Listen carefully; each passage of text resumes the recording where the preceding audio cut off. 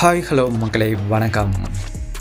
Team of the year two thousand twenty three இந்த ஈவெண்ட்டில் almost எல்லாருமே ரெண்டு ultimate team of the year பிளேயரை எடுத்திருப்பீங்கன்னு நினைக்கிறேன். ஐம்பது எக்ஸ்சேஞ்ச் மற்றும் இருபது எக்ஸ்சேஞ்சஸை கம்ப்ளீட் பண்ணோம்னா நமக்கு அந்த ரெண்டு பிளேயர்ஸை ஃப்ரீயாக கொடுப்பாங்க.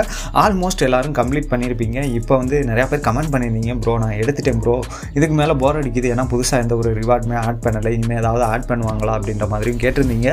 இது வரைக்கும் எந்த ஒரு அப்டேட்டுமே கிடைக்கல ப்ரோ புதுசாக எந்த ஒரு ரிவார்டும் அவங்க ஆட் பண்ண மாட்டாங்கன்னு தான் நினைக்கிறேன்.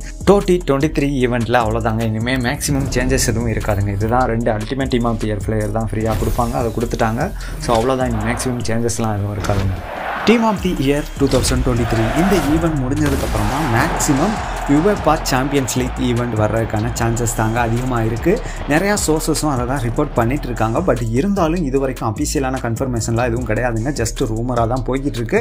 அதுலேயும் நிறையா நல்ல பிளேயர்ஸ் இருக்க போகிறதாகவும் பெரிய ரூமர்ஸ் போயிட்டு இருக்குங்க. ஸோ அதையும் பார்க்கலாம்.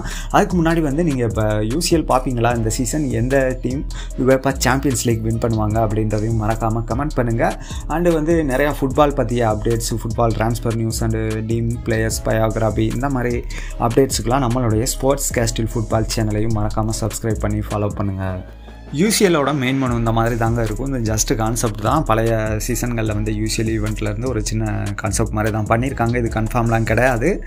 மெயின் மனு இந்த மாதிரி தாங்க இருக்கும். அடுத்து பிளேயர்ஸை பொறுத்த வரைக்கும் எல்லாரும் பெரும்பாலான சோர்சஸ் ரிப்போர்ட் பண்ணுறது என்னென்னா செர்ஜியோ ராமோஸுங்க மினிமம் ஒரு one not eight Sergio Ramos இருக்கிறதுக்கான சான்சஸ் அதிகமாக இருக்குங்க. ஒரு சில பேர் என்ன சொல்கிறாங்கன்னா நூற்றி பத்து ஓவரால் உள்ள செர்ஜியோ ராமோஸ் இருக்கார். இந்த யூசியல் ஈவெண்ட்டில் அப்படின்ற மாதிரியும் சொல்கிறாங்க ஸோ நம்ம வெயிட் பண்ணி பார்க்கலாம். செர்ஜியோ ராமோஸை பொறுத்த வரைக்கும் இப்போ ரீசெண்டாக தாங்க இன்டர்நேஷனல் ஃபுட்பால்லேருந்து அவரோட ரிட்டைர்மெண்ட்டை அனௌன்ஸ்மெண்ட் பண்ணியிருந்தார். Spain national டீமுக்காக World Cup UEFA Euro league இந்த மாதிரி பல கோப்பைகளை வின் பண்ணி கொடுத்துருக்காரு செர்ஜியோ ராமோஸ் கிளப் கரியர் கரியர்லையும் ஒரு பயங்கரமான கெரியருங்க செர்ஜியோ ராமோஸ்க்கு ரியல் மேட்ரிட் அணிக்காக ரொம்ப வருஷமாக விளாண்டாரு சூப்பரான பிளேயர் ஹையஸ்ட் கோல் ஸ்கோரிங் டிஃபெண்டரும் செர்ஜியோ ரமோஸ் தான். செர்ஜியோ ரமோஸை பொறுத்த வரைக்கும் இப்போ ரீசெண்டாக நடந்த ரெண்டாயிரத்தி இருபத்தி ரெண்டு கத்தார் வேர்ல்டு கப்பில் ஸ்பெயின் அணி இவரை செலக்ட் பண்ணலைங்க. ஸ்பெயின் நேஷனல் டீமுக்காக விளாட்றதுக்காக இன்னமும் வெயிட் பண்ணிட்டு இருந்தார். புதிய ஹெட் கோச் மாறினதுக்கப்புறமும் இன்ஃபேக்ட் வந்து கத்தார் வேர்ல்டு கப்பில் வந்து ஸ்பெயின் வந்து ஸ்டேஜில் படுதோல்வி அடைஞ்சு வெளியேறிட்டாங்க. ஸோ அதன் பிறகு ஹெட் கோச் பதவியிலேருந்து விலகி இருந்தார். அதனால் புதிய ஹெட் கோச் வந்ததுக்கப்புறமாவது எனக்கு வாய்ப்பு கிடைக்கும் அப்படின்ற மாதிரி செர்ஜியோ ராமோஸ் வெயிட் பண்ணிட்டு இருந்தார். பட் ஆனால் புது ஹெட் கோச்சும் அவரோட ஃபியூச்சர் பிளானில் செர்ஜியோ ராமோஸ் இல்லை அப்படின்ற மாதிரி தெரிவிச்சிட்டாரு.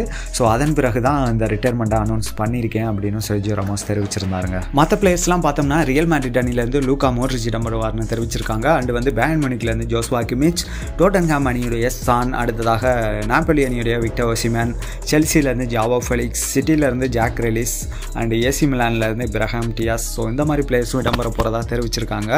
ஸோ ஓகேங்க அவ்வளோதான் இது ஜஸ்ட் ரூமர் தான். கன்ஃபார்ம்லாம் கிடையாது. பட் பார்க்கலாம். மேக்ஸிமம் யூசிஎல் ஈவெண்ட் தாங்க வரும்.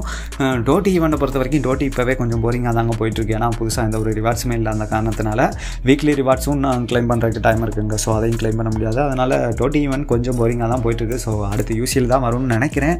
ஸோ ஓகேங்க வீடியோ பிடிச்சிருந்தா லைக் பண்ணுங்கள் ஷேர் பண்ணுங்கள் மறக்காமல் சேனலை சப்ஸ்கிரைப் பண்ணி பெல்லைக்கான ஆளில் செட் பண்ணிக்கோங்க.